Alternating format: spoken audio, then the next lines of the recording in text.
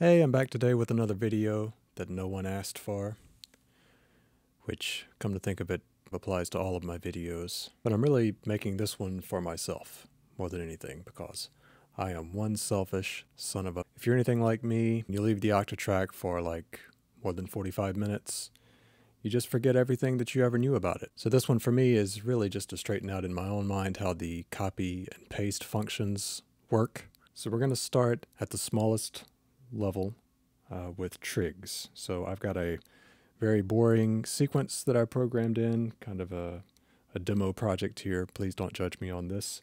But uh, here's the sequence. You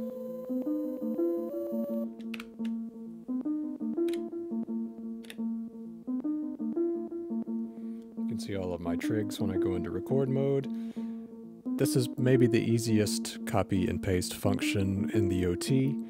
Um, you just hold down the trig that you want to copy uh, and hit the record button, which is the copy button. It'll say copy one trig, and then you can move it wherever you want, hold that down, and hit paste. So you can hear it, they're at the same pitch. If I go in, you can see that the pitch has been raised seven semitones on each one. It is literally copied in that exact trig. I could do the same thing back here. See this one? I'll copy that, put it here.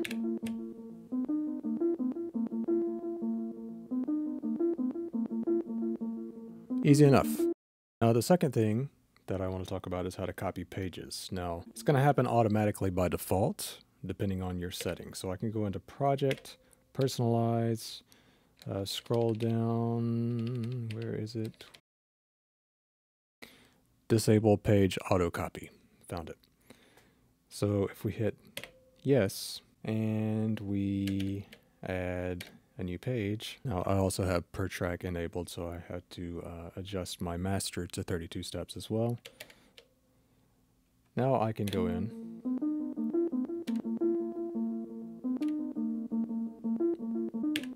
something didn't work. Uh,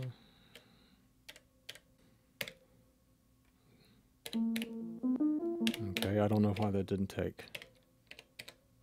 Should be, yeah. Okay, well, it's not doing what I want it to do, obviously.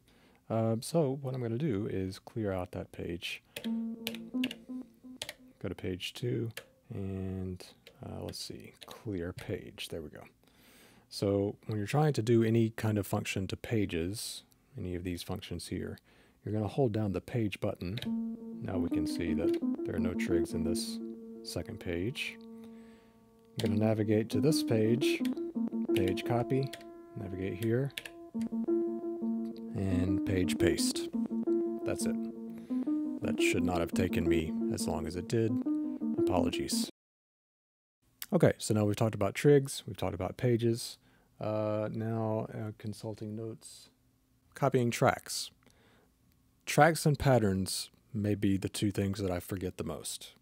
Uh, there is one subtle difference that will allow you to copy one versus the other. So let's get our sequence going. Let's say that I want to copy the second track, which sounds like this. Intriguing, I know. Say I want to copy that into track 3, which I've intentionally left blank for this demonstration.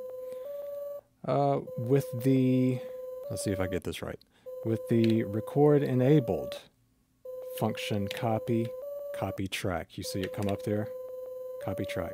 So whatever track, you know what, I need to make sure that I'm on track 2. Function copy, is just copied track 2, whatever track you're on, and then I can put that function paste into track 3. You hear it just got louder. Now I can mute that one and it's in track 3. So that allows me to change, not, it's obviously copied all of the machines, all of the effects as well, but that allows me to quickly make adjustments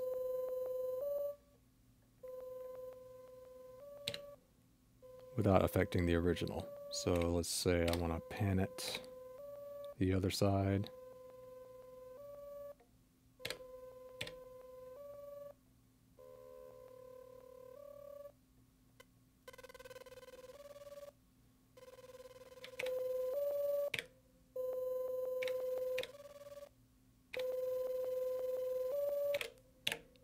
Pretty cool. Okay, so let's say that I'm happy with this pattern for demonstration purposes, and I want to copy the whole pattern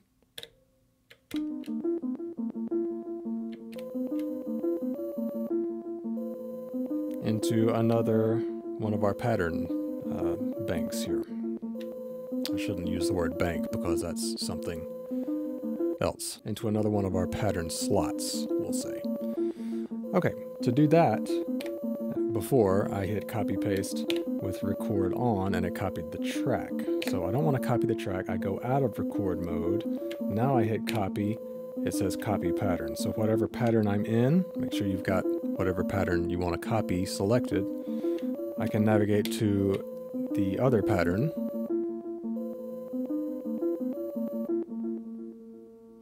So it's just gone to pattern 2, which has nothing in it at the moment. And I can hit function paste, and it's just pasted that first pattern in, which allows me to go in and change things. That's fascinating.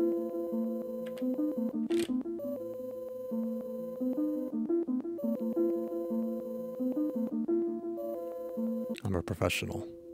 So quickly, for my own benefit, just to repeat it one more time, if you are in record mode and you hit function copy, it's going to copy the track. If you are not in record mode and you hit function copy, it's going to copy your pattern. It's that simple, and I don't know why I can never remember it, but now that I've just told you about it, surely through the power of magic, uh, I will remember from now on. I am serious. And don't call me Shirley. I haven't delved into parts and banks too much, um, but using kind of the structure of the Octatrack that we've kind of worked out so far, it kind of applies to parts and tracks as well. So parts, uh, you can have up to four different parts that you can navigate to and select uh, using the arrow keys and then hitting yes on whichever one you want to switch to. You have four different parts and these, as from what I understand, as I said, I haven't used these a lot yet, but uh, from what I understand, these are basically going to change your machines. So it keeps your pattern the same, uh, but swaps out your effects, your machines, and the settings that apply to them. Uh, if I'm wrong about that, I'm sure no one will correct me in the comments. So this kind of works the way you think it would. Once you're in part mode, you hit function copy. It's going to copy your part. You navigate to the new one.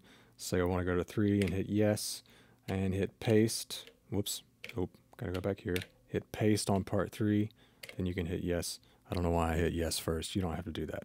So again, because I messed that up, go to navigate to 1, hit copy, and navigate to wherever you want to dump that. It's that easy. Hit yes to go back to part 1. Yeah, pretty simple. And lastly, but certainly not leastly, we have scenes.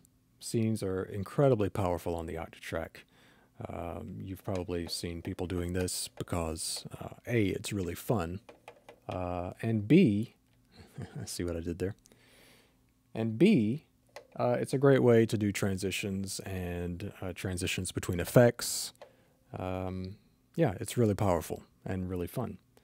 So let's say that we want to copy our scenes.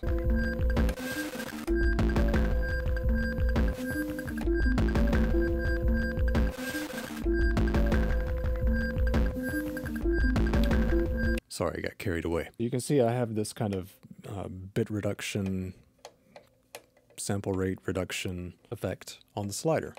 Uh, scene A is over here. We can select different scene A's that we can set up, change parameters, whatever. This is not about how scenes work. This is about how to copy them, sorry. Scene B, let's say I want to copy uh, 9, which is my first B scene, while holding down the B scene button. Make sure that I have 9 selected. It's going to be lit in red. Hit copy. Copy scene appears on the screen. And then I could put that in, say, let's say 12, and paste. And now, scenes 9 and 12 in my scene B slot over here are the same. Um, so that's a quick and easy way to copy and paste your scenes and have lots of fun doing this. So that is my comprehensive, I think, self-help guide, uh, essentially for the copy and paste functions on the Octatrack. Uh, really powerful, and uh, hopefully you got something out of this, and you can refer back to it whenever you get stuck. Thanks as always for watching. I'll be back with more of these. Uh, these are a little bit niche. I know if you don't have an Octatrack, you're probably like, who is this guy and why should I care? And uh, the answer is no one, and uh, you really shouldn't. But if you got something out of it, I'd appreciate it if you'd leave a like and subscribe. But uh, please don't ring the bell because that just seems a bit needy in my opinion. Just want to tell you both good luck. We're all counting on you. See you in the next one, and uh, thanks for watching.